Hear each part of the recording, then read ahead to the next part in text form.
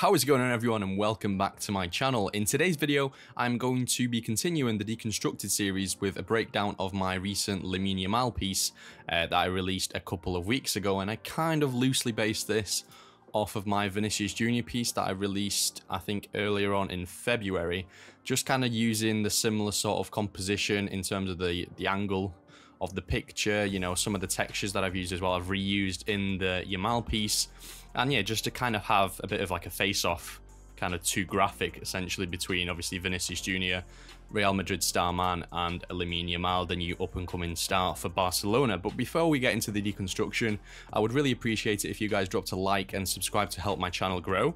But let's get into it. So, as you can see, the first thing that I really did with this, if we just go back all the way down to the layers, and I'm just going to literally hide everything that I did, uh, apart from, there we go. So initially I started off with this picture. Uh, I used a bit of generative fill to kind of add in bits as the first picture that I used, it wasn't at an angle. Obviously the ground was uh, horizontal, it was very flat. So I twisted it and then it obviously had some corners showing. So I just filled in uh, some of these just to obviously get a nicer, nicer effect. And uh, the, the picture itself had a really, really good background. So what I then did I cut out um, Yamal and then used generative fill to kind of um, get rid of any bits that I wasn't too um, detailed with when I was doing the cutouts. Some some certain bits were showing behind him, so I've just basically did a selection of the cutout, uh, expanded the selection, and then used generative fill to kind of get rid of anything that was behind him. And then we were left with this. So just the normal cutout uh, which is fine. And then we kind of started to build the backdrop. So going into the backdrop, I first of all hide these. Camera raw, I just kind of boosted some of the colors, uh, add a little bit of contrast to make it a little bit more cinematic in a way, and then added some curves and exposure adjustment layers to kind of add a bit of highlights coming from this side where the light will eventually come from, and add a bit of shadow in here so it kind of looks like the shadow is falling from him and uh, that was kind of it. Then I added a bit of a red hue back, uh, background light essentially, not directly onto the cutout, but just a bit of uh, red saturation into the top right corner. Uh, and once I had this composition, what I really wanted to mirror was these really abstract shapes, uh, similar to what I used for Vinicius, but not the exact same technique that I used for this one. So heading into Illustrator, I created a few of these assets, which are just, uh, I think basically all this is, you create a couple of shapes and then have a type layer and eventually you use the envelope an envelope distort uh, and you make it with top object which then creates a nice effect when you can still edit the type so you can essentially type in whatever you want um, and it creates kind of a live object an abstract shape and you can play around with the um, kind of the angle of this and it kind of distorts it to match the shape, which is pretty cool. So I did that with Barca. I created the Barca shield um, just as a vector shape, which I'm later going to use as a stroke in the actual piece itself. And then I kind of rasterized some of these and then created a couple of different variations of the actual name um, using the same sort of tactic with a slightly different shape kind of composition for the distort. And then I exported it into this. So the first one that I did was this Barca one, which is kind of like the dark blue. And all I did for this was, you know, as you can see, it's just this uh, directly imported from Illustrator. And then I added a blur to it, which is, if I will just show you, show edit pins, it's just an iris blur just to kind of get that nice fade out around the edges, but keep it really in focus uh, right behind uh, the cutout. From then on, I added a bit more of a light coming from the top right, and then again, added a bit more shadow in. Then I added this uh, Barca shield shape. I got rid of the fill completely. I've just added a white stroke and then a bit of outer glow just to kind of help this area of the composition stand out a bit from the background. And then moving on from that, I kind of started to build up the abstract shapes behind uh, Yamal and kind of played around with a bit of the, uh, the lighter blues rather than the dark blues. And again, this is literally the same shape from the Illustrator file that I showed you previously with just a couple of highlights that I've added and a couple of shadows. And again, as you can see, this is just the shape. And I added an not an iris blur, a field blur on this one, just to have a little bit more control on this one and create kind of the pieces um, of the shape that are closer to the edges, a lot more blurred out, just to get a bit more of a dynamic feel and a bit of speed Um, and yeah, so until I was satisfied with that, obviously I played around with the, the different settings.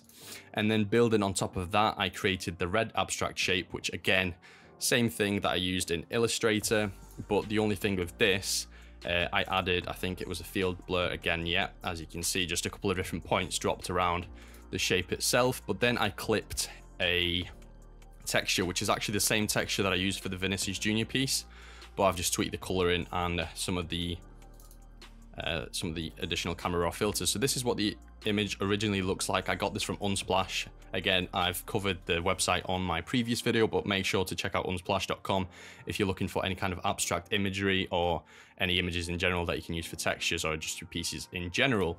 And, and then what I did to this was just added a hue and saturation to make it red and then played around with some um, some basic contrast camera raw filters that just make the the highlights pop a bit more make the blacks a lot darker, and then just kind of get it looking really metallic in a way.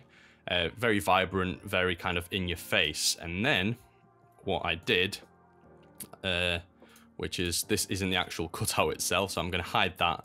And this is the cutout now, as you can see. And I'll just add this background kind of glow that I, I use in a lot of my pieces, to be fair, uh, just to kind of create a little bit of lighting and make it not as flat. And then on the cutout itself, I've done quite a few things, so let's hide all of these first. Uh, I started off with a selective color adjustment layer just to tweak the yellows a little bit to kind of get more of a natural look on the skin tones. Then we started off with some shadowing using a curves adjustment layer. Again, a little bit of shadowing on the ball. Then an exposure layer to kind of bring out some of the highlights around the edges. Then another curves adjustment layer to kind of emphasize those highlights even more hue and saturation just to add a bit of like um, just edge lighting really play around with the red lights and kind of get that to transfer onto the cutout itself. And as you can see if I just kind of hide the hue and saturation you can really see the details come into the hair and kind of the outline of the face and things like that. So that just kind of helps to bring it together really uh, and kind of make it a little bit more realistic. And then I just added again just a little bit of red uh, overlay onto the side of the face. Then I did the 50% gray layer with the burn and dodge, which is right here, to kind of further emphasize the, uh, the shadows and the highlights. As you can see, it just kind of makes it pop even more. Then again, some more kind of edge highlights around the glow, which is behind the player. Then a bit of red coloring where the light is coming from to kind of, again, make it more realistic. And then a little bit of blue coming from the left. So I kind of get a little bit of light transfer from these blue shapes on the left of him and then kind of to have him more embedded into the abstract shapes, similar to what I did with Vinicius, added a bit of foreground uh, elements and added a bit of overlay of the parts on top of the cutout. I just used the the kind of the abstract metallic shape and I've just masked it a little bit over him so it kind of looks like he's coming out of that abstract shape. And then uh, the last couple of things, some uh, some bloom over the cutout, just to, again, add a bit of realism across the face. So it's like the light is bouncing off his face and a little bit of bloom around here where the light is hitting his leg and just over the, the kind of the metallic um, abstract shape. Then I created some foreground elements, which is literally just um, like essentially little circles that I just drew myself uh, around him. So let me just show you that quickly um, in the texture. So I think it should be in here. So it's literally just these little shapes that I made around him until I was happy with the kind of composition. I then clipped um, the the metallic texture again in over these. And then I just added a, I think it was a filter blur and it was a radial blur, but I did the zoom best. And I think I've just played around with the amount until I got a kind of uh, perspective. So it looks like the pieces are coming from towards, uh, from the middle of the composition towards kind of the edges with a bit more of a dynamic feeling again. And I did the same with these kind of two uh, parts that I've added on the bottom and to the right again to kind of create a bit more of a, a depth look uh, just to create more foreground and then it kind of, yeah, again, just creates a bit more of a dynamic look, similar to what I did with this Vinicius, with a lot of this being out of focus, but then obviously the coil being in focus, it just makes the piece look a lot nicer.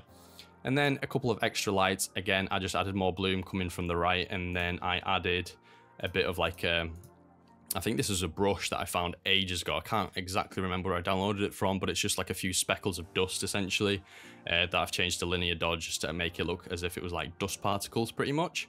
And then the final uh, CC filters and uh, kind of color adjustments. Again, a bit of a curves layer to further kind of improve the contrast of this piece. I added a bit of a um, an overlay, um, what's it called now? Grain effect that I literally just made a 50% gray layer, added grain in the camera raw filter and then set it to like 70%, which was good. Brightness and contrast again, I kind of increased it around the edges of the cutout where the lights are hitting just to kind of get that to pop a bit more.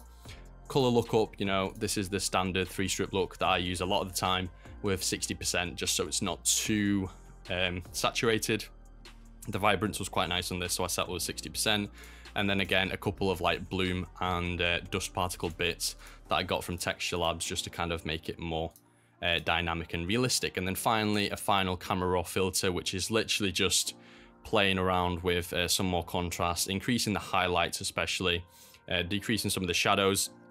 And then I created final iris blur around the edges of this to kind of get these bits a lot out of focus again so then it kind of emphasizes the sharpness of the cutout itself and it basically creates the final look so just as a final comparison this is what the before cutout looked like this is the after and then obviously we've added the angled uh, background we've played around with the image added all of the the elements from illustrator uh, which if you want to see a tutorial on these, let me know in the comments below. I can make a dedicated video to kind of how I create my abstract shapes on Illustrator especially.